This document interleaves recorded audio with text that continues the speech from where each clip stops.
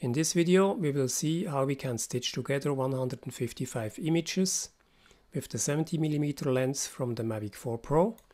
Can also be the Mavic 3 Pro or the Air 3S. All the cameras with the 70mm lenses where, where we can do panoramas with the DJI app. And we will also see how we can fix the zenith even with plus 70 degree pitch angle from the Mavic 4 Pro, we have still some hole in the zenith, but I will show you how we can fix that with Affinity Photo. And we will also see how we can use the XML creator to get the best stitching results. The XML creator helps us to get the best stitching results. I've implemented from the Phantom 3 Pro down to the Mavic 4 Pro with the 70mm lens. The most important function today is the create XML from EXIF. So you first copy your image files from the aircraft after the pano shooting into a folder and you do not change these images.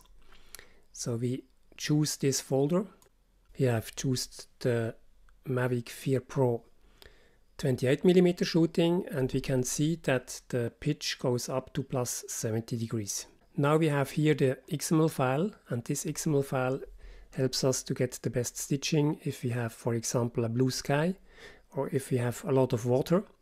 So it says the stitching program which image has to stitch together with another one. Now actually here we have about 43 images now let's have a look on the 70mm lens. Also the 70mm lens goes up to plus 70 degree pitch angle, but we still have a small zone from the zenith where we have no images and we have 155 images. And here is it's very important if you use the 70mm lens that you have an XML file to get the best results for the stitching. We have several 70mm lenses. We have the Air 3S, for example, here. But we have also the Mavic 3 Pro with the 70mm. So all these aircrafts are supported from the new XML creator. Now let's compare it to a Phantom 3 Pro. I just will simulate with 30% overlap the best results with HDR Pano 3D. And we can see we have 16 images but we have here a lot of Zenith where we have no images. Let's see the Mavic 3 Pro. The Mavic 3, Go 3 Pro goes up to 60 degree pitch angle. So we have a full uh, panorama. We have here just a very small zone where we have nothing into the zenith. We can do that with an additional zenith shot or we can fix that later into the programs like Affinity Photo or Photoshop. The XML creator also calculates the image size. Let's go back to the 70mm shooting.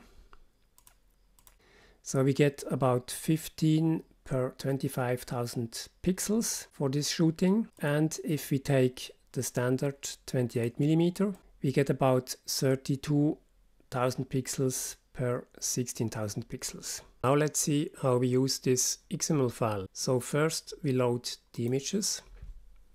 I take the 70 millimeter shooting with 155 images. I only load these images. I do not calculate anything with them. Now I go to File, Import Papywizard. We have to choose the right folder, this one. And now we start to calculate the images, not before. So we have first to load the XML file. Now we can see that we have our 155 images into the right position. It will be most difficult if you don't use an XML file with 155 images. Enough overlap on the Zenith, but we will fix that later on into Affinity Photo. Now let's see the workflow in Autopano Giga. We first select the XML file then I select the images.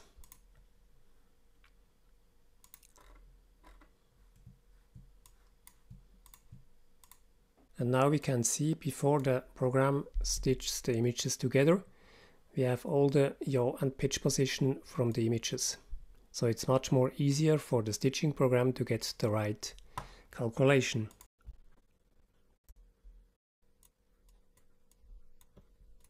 And here we can see the final result. The RMS is 2.88. We have only a small problem between image 59 and 60. Typical uh, blue sky. If you have more blue sky, you will get more problems, but with the XML file, there is no problem to stitch them together. Now I will show you how we fix the zenith.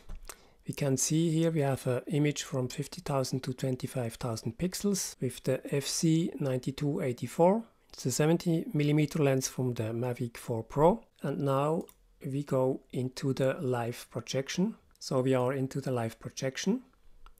So here we can see the quality of the whole image. We can also zoom in, zoom out to see the quality of the image. And what we can see here, we have no overlap into the zenith and I will show you how we can fix that. Now actually we are in the projection mode and if I start here to edit the image it will change to edit mode so we can no longer move the image but that's not a problem as we will fix this zenith hole.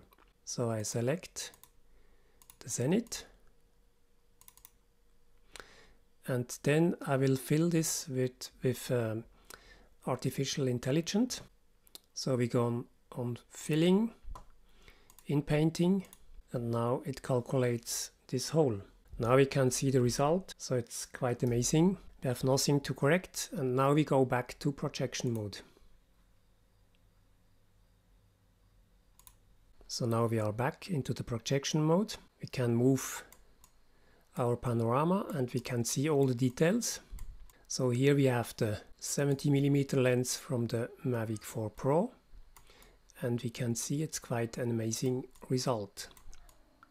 You cannot do that in Photoshop. Photoshop cancelled the 3D program, but with Affinity Photo you can do that without any problem, even with a huge size from the image. We can also zoom in to get closer to see the result of the 70mm lens. So that's quite an amazing result. You can download the XML Creator on my homepage. I put a link in the description and I add also two links with the full size panoramas where you can see all the details. I hope you enjoyed this video. Thanks for watching. Until the next time.